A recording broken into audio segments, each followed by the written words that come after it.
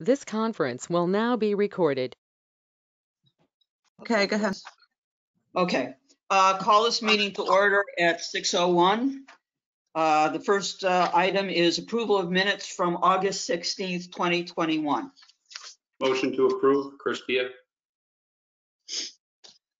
A second? Second, second, Peter Pulaski. Okay. Uh, Any discussion? Okay, all in favor? Aye. Aye? Aye. Aye. Okay, approved. Moved on. Uh, Number, the next item is uh, Parks. Go ahead, Chad. Chad, we can't hear you.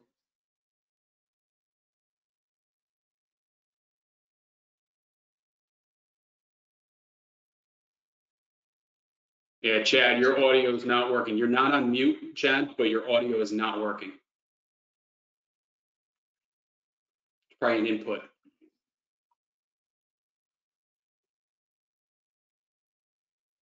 Um, Can he hear us? Yeah, Yes, Okay. yes, he can. all right. All right, Chad? Oh, We'll go on to the next one, which, uh, what? Okay, all right, He's calling in. Yep. calling in, okay. He's calling. Chad, just mute your screen though. On your screen, mute that because I know that'll give feedback.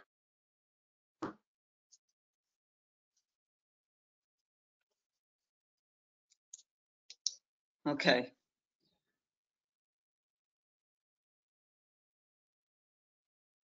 Okay.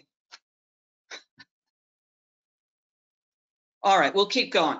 Uh, okay, that'll come, uh, golf course. Pete? Um, I would say the, the, the golf course in the last month or so has, uh, well, let me go back. The golf course was in tough shape about a month ago, um, for a lot of reasons, most of which had to do with agronomic, uh, uh, procedures. Um, so, um, Chad and I had a couple of conversations and actually, uh, he literally came down to the golf course and, uh, based on his professional experience. We uh, we got going with uh, an aeration and a, a tremendous amount of sprays and chemicals on the golf course. So the golf course is coming around a little bit. Um, you know, it's been a struggle, and I, I know Chad probably wanted to talk about this as well. You know, we had we had a couple of pieces of equipment break down, um, and uh, so it's making a little bit of a comeback the uh, the play has been pretty good, um, although I think conditions had a little bit to do with the decline. Um, we, we've been we've been talking about we've been talking about a uh, we've been talking about a maintenance schedule, uh, both a daily operational schedule and a and a yearly schedule that we could all we could all be um, able to look at and follow and make sure that things get done for 2022. Um, I know Chad has a, a an aeration he wants to do at the end of this year in preparation for the winter. Um, big big picture stuff. We we continue to talk about um, a couple things. One is an income plan for 2022. Chad's been working on getting some numbers for me um, everything from retail in the golf shop, uh, price increases. Um, one of the things Chad and I talked about was uh, for 2022, um, working with the, the rec department at the beach. So when somebody comes into the beach and buys a parking ticket from out of town, we give them some kind of coupon to come over and play golf. Um, you know, um, just a lot of uh, income producing opportunities that uh, I think we we've we're missing the boat on. So um, again, uh, future planning are, are, the things that we've been talking about. Um, other than that, we're uh, you know we've had some outings this month, uh, all all good responses as far as the golf course.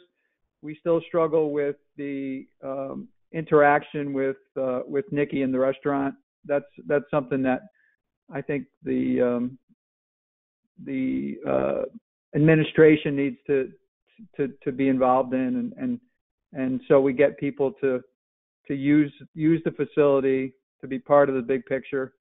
Um, but um, all in all, we're, making we're making good progress in, in getting the place uh, back in good shape. So, so it's it's positive in that note. Okay, good. Yeah, I played there last week and yeah, it, it was pretty good, at least for the game that I'm at right now. So, um, anyone have any questions of Pete? No? Chad, can, can you hear us? Can we hear you? I can. Can you hear me? Oh, yeah, yeah. Okay, Okay. Good. The phone worked.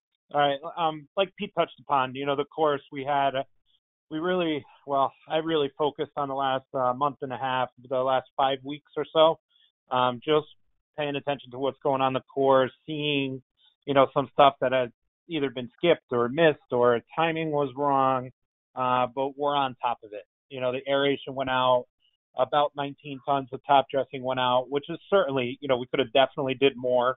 But given the time and the area, because fertilizer went out, two types of fertilizer, uh, both carbon nitrogen, not synthetic nitrogen. So they give you long term effects, not a short term effect. Um, and 100 pounds of seed went out on the greens. So if you look closely in all the holes in some of the scarified areas, you can see popping through the holes, you know, which is a great sign. Uh, we did uh, quicksilver applications to start to knock down the moss and control the moss. Um, the second quicksilver application is coming up this week, Tuesday, I believe, is when we're scheduled. Tomorrow, weather dependent. Um, if it's not Tuesday, it'll be Thursday. Again, you know, it targets the moss and it targets, you know, keeping it at bay so that we could get seed in the ground and give the seed a chance to grow. Uh, we are scheduled, like Pete said, we're trying to schedule a second aeration with bigger tines in November, probably around the 16th or so.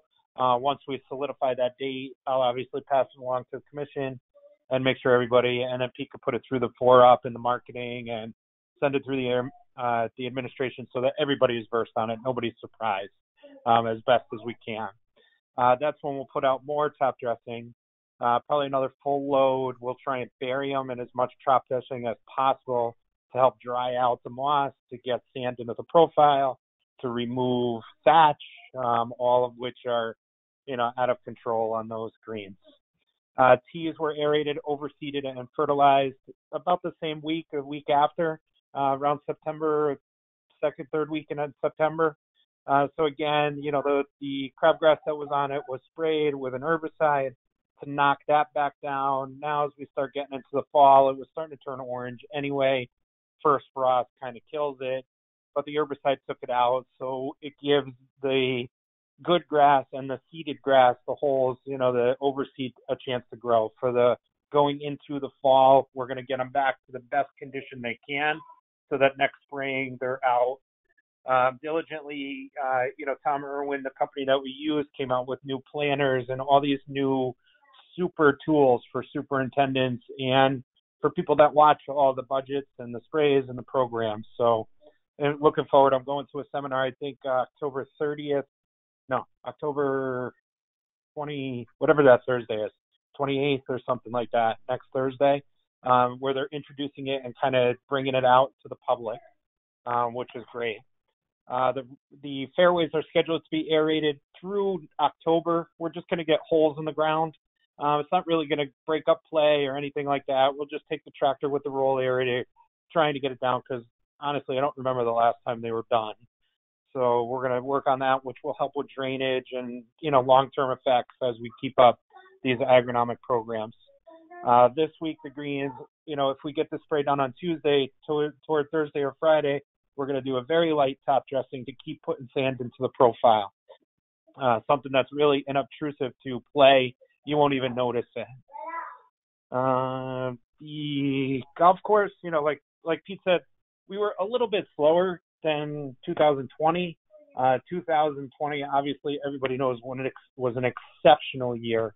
Uh, probably, maybe never to be repeated again, but at least a benchmark that is uh, incredible. So in 2019, you know, we did 42,838 of sales and about 3,200 rounds. In 2021, we did just under 2,500 rounds at 33,837. So still very good, very busy, consistent. You know, we're still between Pete and I. Pete has phenomenal ideas on how to change the marketing and how to get more people out, uh, which is very good. It's um, being the timing that it is right now. It's kind of hard to introduce. Um, so I'm going to talk with my director to try and see. You know, she uh, obviously has a direct link to the mayor. If the mayor wants to, you know, stand behind it or go forward with it, it's really up to her. And then we could hold like a special meeting or at least present it through email to the commission and then see if the commission stands behind it too. You know, obviously like the fall specials, a buy one, get one half off, uh, free golf Thursdays, or, you know, with a purchase, you get a free round.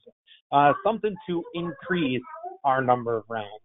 Uh, when we're starting to decline, you know, hopefully we could get a resurgence because the weather has absolutely been beautiful and day to day it's very slow, you know, so we're missing somewhere. And uh, Pete, Pete's got, like I said, amazing ideas.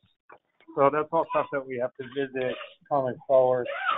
Uh, the complex, uh, fall baseball still going on. Um, the tennis court construction is in full swing. So we're gonna that. So that we're gonna um, go to two basketball courts, two tennis courts, all post tension concrete. Uh, the backside will be, you know, put down topsoil and put down seed and just and keep it as an open grass area for pavilion rentals or whatever the case is over there. Um, the irrigation systems have been winterized at the at uh, the restaurant and the concession stand, and then the golf course one gets done in the next week or two. Um, kind of before that, you know, obviously, obviously the the heavy uh, freezing goes down, but the pipes are so low. I mean, that's late in December, but uh, we haven't watered in 12, 13 days, and the course is really starting to respond to, you know, no water compared to overwatering, which is great. Um, so if anybody has any questions, you know, I'd be happy to answer, but, uh, you know, just kind of going I have, I have a question, Chad. Phragmites, which I can now spell, thank you. Uh, third hole is, eh, it's just an accident waiting to happen.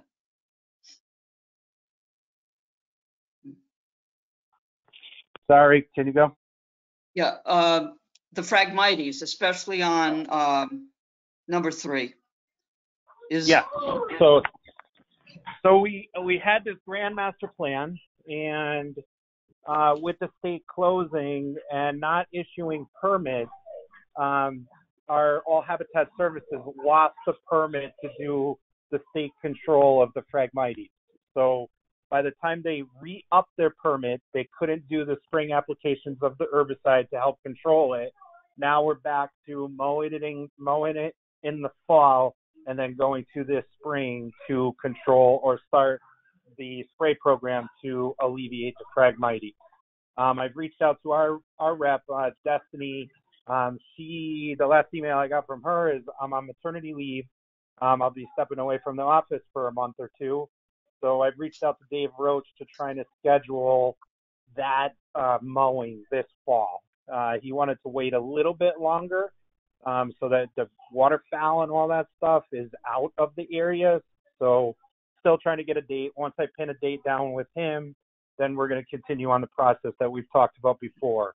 A fall mowing, a spring when they get to about 18 inches or two feet, herbicide application that's safe for aquatics, safe for everything, uh, where it helps slow the growth so they don't get to that six, eight, ten feet, and then fall, next fall mowing again, then the spring application, so that we continue on this to help break up the Phragmites. And at some point, when we show our due diligence to the state, we could go for grant. All right. Very good. Anybody else have any questions for Chad? Chris? Aaron? Yep. Hey, Chad. Um, Hello. Just a quick, quick observation slash thought, um, and maybe we can, we can discuss further, but literally, you know, in the last couple of weeks, me knocking on doors just uh, for reelection, people are just obviously you get- you get into a lot of great conversations. People are very excited that we move forward with the renovation of the tennis courts and basketball courts. Pickleball, pickleball, pickleball, pickleball. That's all I hear. Um, and, and, you know, I'm laughing because I, I've never played it in my life and, but I keep hearing it and hearing it, hearing it, and hearing it. And so obviously there is a lot, a tremendous amount of interest. I'm, I know you guys know, I know Parks and Rec knows that. You guys have had these conversations at Yeoman's, you know, for the last two years. So my question, I guess, is what more can we do to enhance, you know, before, I know we just ripped down the fence and I know we haven't started lining anything yet. What more can we do to essentially line it potentially for more courts, either not vertically, but horizontally, um, just to educate me a little bit? Sure. So this is actually ironic that you brought up this. I mean, obviously, well, not obviously, but the way that the, the courts were built down at Short Beach, the two tennis courts that we're left with is an oversized tennis court. So to have two courts side by side, the actual area we have is is big. It is a very large surface. They can be tighter. So right now, as it stands, you know, we're doing two tennis courts with pickleball lines in the tennis courts. So when you put pickleball lines in the tennis courts, you physically have to lower the net, and then whoever has the permit has to raise the net because the pickleball net is slightly lower than a tennis net. Um, same width and all that stuff, but just slightly lower. So when you put them on tennis courts, that's the only caveat that you have. Um, the contractor was like, look, you're so close. You need 10 more feet of post tension concrete, and then we could put two tennis courts and two pickleball courts, either parallel or perpendicular, probably parallel so that balls aren't crossing each into the court, kind of like how we're doing at Wooster. Wooster, because it's an oversized tennis court for two tennis courts, we're doing one tennis court and four dedicated pickleball courts up there. So in order to keep the two tennis courts down at Short Beach, it was either we have to go two tennis courts with the interior pickleball lines, or if we extend out. Now, obviously, there's a cost to it, and the cost that the contractor was coming up to doesn't fit our budget. So he was trying to sharpen his pencil to see if there's any way that we could possibly extend it out um, to get these pickleball courts. But truth of the matter is, I mean, we built the facility we have now, and then we have all that open grass area behind. You could also do a future phase in and add post tension pickleball courts behind it. You know, you already have one side fencing, then you just add three more sides. Whatever the cost is, the cost is. You know, so um, I think it's about uh, uh, I don't know, I'm hundred thousand up at Wooster. I don't know what the exact cost was. I don't remember. Um, so something similar to that. We could add on to it, and being that it's post tension concrete, you just add on to it, you pour another slab, and you're all set. Um, so, and with this pickleball, pickleball, pickleball, pickleball, you know, we went from basically four at uh, four at Flood. Now there's going to be four at well, there's four that are on Bunnell. There's four that are going to be in Longbrook. There's going to be four in Wooster, so four, eight, ten, twelve, and then two more down at Short Beach. You're talking about four pickleball courts going to 16 pickleball courts in a matter of three months. Um, so it's really going to be widespread in all different areas of the town.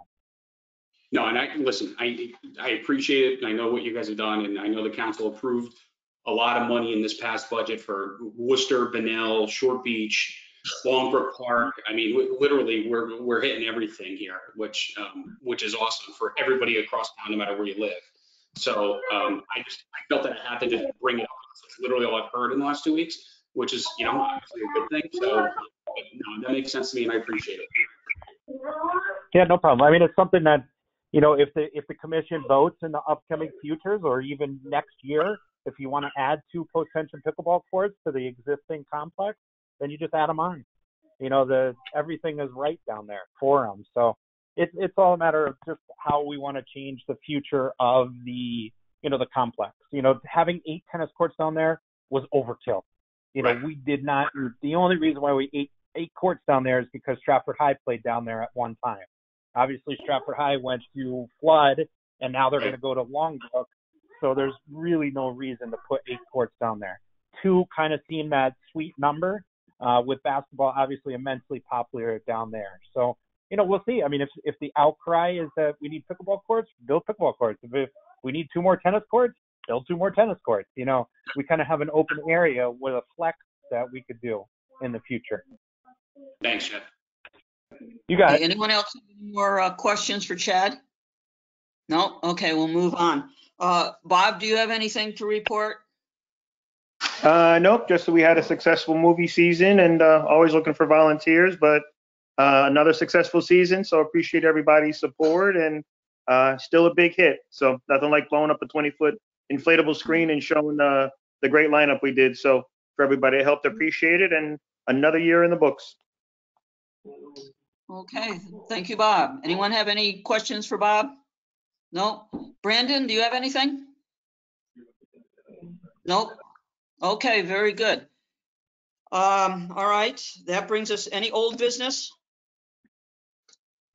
New business. First thing, the 2022 meeting schedule, we need to uh, approve. Everyone got a copy of it? Okay. um, All right, I need a motion. Motion to approve, Peter Pulaski, motion to approve the schedule. Okay, Pete, second? I'll sec- I'll second. Okay. Any discussion? No? Favor?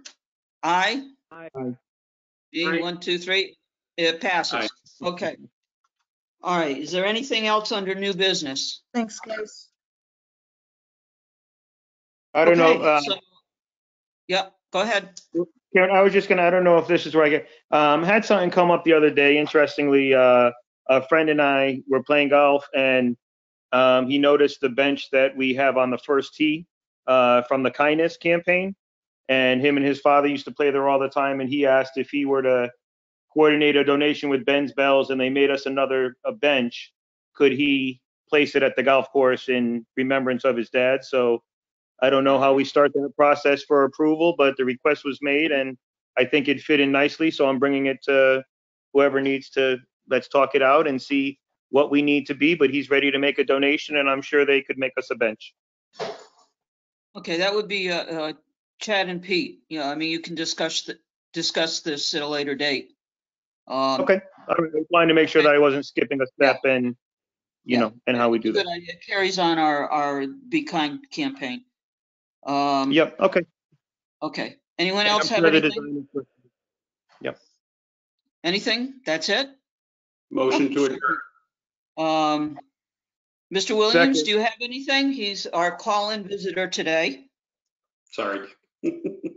No, thank you, Karen. Just uh, very interested as always, and thank you for having me. Okay. Uh, sorry about the, the noise, uh, two weeks ago, but they will not be coming back. Um, okay, I need a motion It for wasn't- adjournment. It it wasn't Yep. bad. Go ahead. Okay. Motion to adjourn. Motion to Karen, adjourn. Chris Pio? Second. Second? Bob Jakel? All in favor? Yep. Aye. Aye. Aye. Excellent. Great meeting, guys. Thank you all. Have a good night, everyone. Bye, guys. Okay. Bye-bye.